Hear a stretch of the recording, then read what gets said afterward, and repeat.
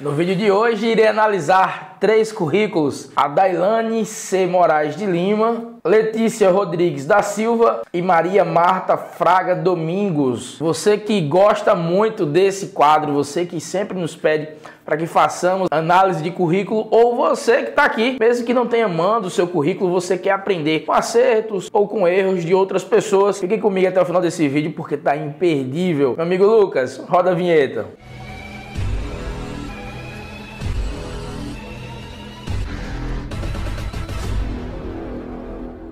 Bye. Seja muito bem-vindo ao maior canal de educação profissional do país. Meu nome é Albérico Neto, sou diretor do Papo Curso Online e é uma satisfação imensa poder estar aqui compartilhando com esse conteúdo com você mais uma vez. E hoje eu irei analisar mais três currículos, tá? Três pessoas que mandaram seus currículos aqui para que eu possa fazer análise. Mas antes de entrarmos diretamente no assunto, eu quero falar para você de uma mega oportunidade que é o nosso site de cursos online e gratuitos. Aqui na descrição do vídeo, papcursosonline.com.br é o nosso site de cursos online gratuitos, você pode a partir de agora começar a se qualificar, melhorar o teu currículo com os nossos cursos. Você vai clicar aqui, vai fazer seu cadastro, você vai verificar o melhor curso que você queira fazer. Lá dentro do curso você vai ter direito à apostila de forma gratuita. No final do curso, na última aula, após ela, terá um vídeo explicando que você precisa fazer uma prova. É um teste para você testar aquilo que você aprendeu do curso. E aí, se você tirar de nota 7 acima, você já pode tá, solicitar o seu certificado.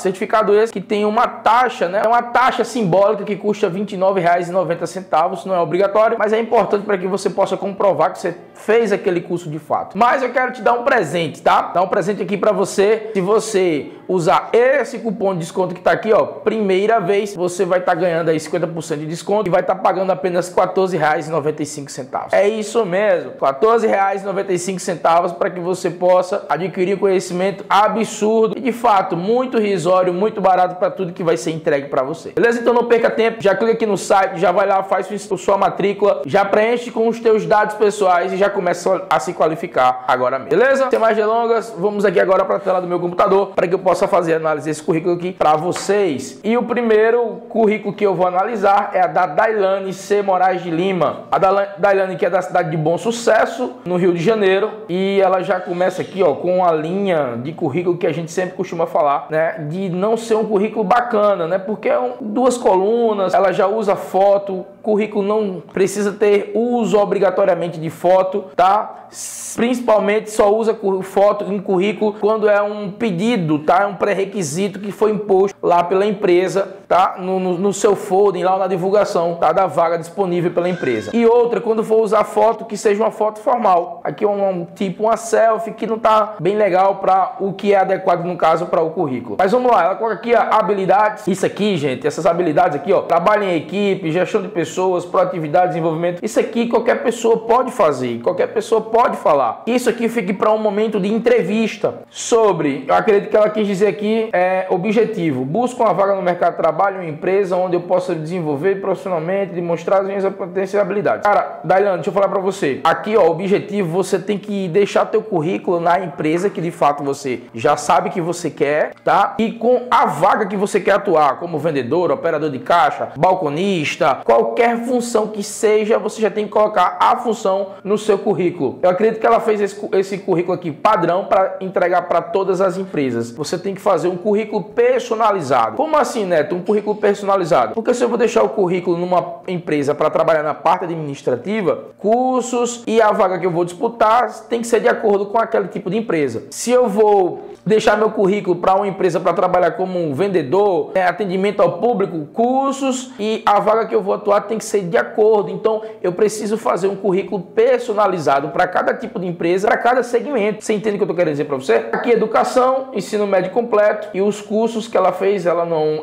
é, não colocou aqui em negrito, tá? Curso de informática, administração, departamento pessoal e cabeleireira. E aí ela está buscando o primeiro emprego. Dá uma dica aqui para você, Dailane. Faça cursos o quanto antes, tá? Entenda em qual área você quer atuar, se é na área setor administrativo, se é no setor comercial, área de vendas, e faça cursos na área para que você possa né, aprimorar seus conhecimentos, você de fato mostrar que você tem habilidade, que você pode dar sim resultados para aquela empresa naquele segmento e aí deixar seu currículo atrativo. A gente sempre fala aqui que currículos de 0 a 5 cursos, eles são currículos muito fracos, né? De 5 a 10 deixa de ser muito fraco, mas ainda continua sendo fraco. De 10 a 15 é um currículo bom, ah, mas é aquele sentimento de que ainda pode melhorar. E de 15 acima, sabemos que já é um currículo excelente, muito qualificado e que merece uma atenção maior. E que de certa forma, tá, dificilmente ficará fora do mercado de trabalho. Beleza? Então, Dailane, pega essas dicas, põe em prática, comece a se qualificar agora mesmo, faça mais cursos e, e aqui no nosso canal você pode pesquisar e você vai ver que tem vídeo para que você de como elaborar o currículo e tem lá um link para você baixar o seu currículo. Modelo de currículo Sniper, aquele muito assertivo, aquele que dificilmente erra. Então baixa lá esse modelo de currículo para que você possa pôr as suas informações e ter mais assertividade e mais chances no processo seletivo. Fechou? Agora vamos para a próxima. Letícia Rodrigues da Silva, ela que é da cidade de João Pessoa, aqui na Paraíba, conterrânea nossa. O objetivo dela, ó, aqui, tá tudo bem encaminhado aqui, com os campos e em negrito. O objetivo dela, atuar na área de recepcionista. Maravilha, ela tá deixando bem claro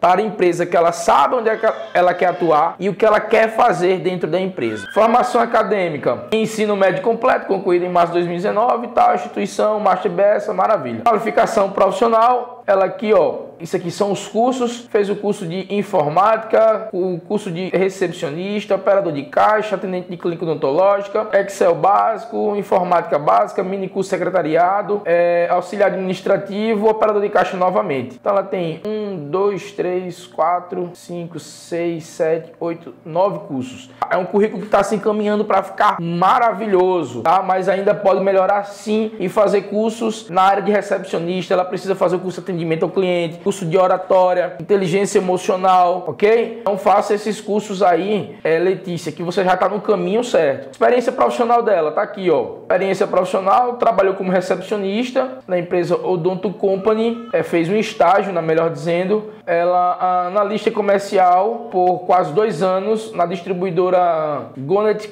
Telecomunicações, trabalhou como call center por, por pouco mais de dois anos na Net Distribuidora e trabalhou também como auxiliar administrativo durante sete meses na Rocha e Rocha Distribuição de Cartões Telefone. Então, ela uma dica só, precisa colocar três, no máximo três empresas que você trabalhou, tá? E é importante as mais recentes. Mas aqui, é, Letícia, ó, você segue um padrão, tá? Só faltou aqui colocar as informações complementares, que é caso você tenha disponível para trabalhar o dia inteiro, é, finais de semana, feriado, se pode viajar pela empresa, tá? No mais, seu currículo tá muito bom, tá? Ele precisa somente você fazer um pouco mais de cursos na área de recepção, que é o que você quer, ok? E você já tá no caminho muito certo, beleza? Continua na pegada que a vaga que você tá buscando como recepcionista já é certa. E por fim, não menos importante para finalizarmos, Maria Marta Fraga Domingos, tá? Ela que é da cidade de São Gonçalo, no Rio de Janeiro. Maria, não se coloca foto em, em currículo, a gente já, já falou aqui para você, tá? Não há necessidade disso, ok? Só se for pedido pela empresa como pré-requisito. Outras informações, habilidades, organização, coerência, trabalho em equipe. Cara, isso aqui eu sempre falo, tá? Eu acredito que isso seja já um ponto, e isso aqui já é um ponto que já vem nesse modelo de currículo aqui, assim, ó, que vem em duas colunas. Aí eles só fazem completar. Isso aqui é algo que você pode colocar e falar na entrevista, porque são características e habilidades que qualquer pessoa pode ter e exercer dentro da empresa. Então não precisa colocar isso aqui. Idiomas, inglês básico, também não se coloca inglês básico. Você só coloca é, idiomas e a, a língua né, que você fala, inglês, francês, se de fato você tiver um conhecimento e se você fale e entenda fluentemente, você consiga se comunicar com outras pessoas sem ser só o básico, né? O bom dia, boa tarde, boa noite, good morning, good afternoon, é, good night, Lucas, me corrija se eu estiver errado. Enfim, eu acho que ela pode competir comigo. O inglês básico é só isso, né? Good goodbye, entre as hi, enfim, outras coisas. Então, por favor, só coloca aquilo que você, eu tô bem aqui dando de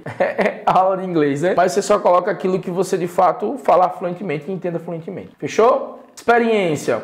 Ela trabalhou né, auxiliar de atendimento no, no bazar familiar. Passou um pouco mais de um ano, um ano e seis meses, oito meses, tá? Realizava atendimento, ficava no caixa, organizava o local de trabalho. Maravilha. Ela ficou um mês aqui, ó, na LCL Net Telecom, ela fazia vendas por telefone, por meio de redes sociais, etc. Ela tem duas experiências profissionais, essa última aqui é a mais recente. A educação terminou o ensino médio completo no CIEP em 2020, e aí os cursos que ela tem é o pacote Office, né, que é o Excel, Word, PowerPoint, entre outros, e auxiliar de farmácia, tá? No ano passado, do ano passado até esse ano. Então aqui, ó, um currículo muito fraco que precisa baixar lá também, Maria, ó, vai lá no nosso canal, vai aqui no nosso canal, pesquisa lá modelo de currículo, coloca lá, veja como é que você faz para elaborar um currículo, baixa o nosso modelo de currículo, coloca suas informações e comece a qualificar agora mesmo. Você só tem dois cursos, que é o curso de, inter... de informática, tá, do pacote Office e o curso de auxiliar de farmácia. Você precisa se qualificar o quanto antes. E em relação, faltou você colocar um objetivo aqui, você tem que personalizar personalizar o seu currículo para cada tipo de empresa. Fechou? Esse foi o vídeo de hoje. Se você gostou, deixa aqui teu comentário. Eu preciso saber, quero interagir com você. O que você achou? Deixe seu like, se inscreva no canal, compartilhe esse vídeo com o máximo de pessoas que você puder ou pessoas que você é, acredita que precisa ter o currículo analisado ou ver outros currículos analisados. Ative o sininho de notificações, pois todas as vezes que postarmos um vídeo novo, você estará recebendo em primeira mão. Beleza? Forte abraço, até a próxima análise de currículo.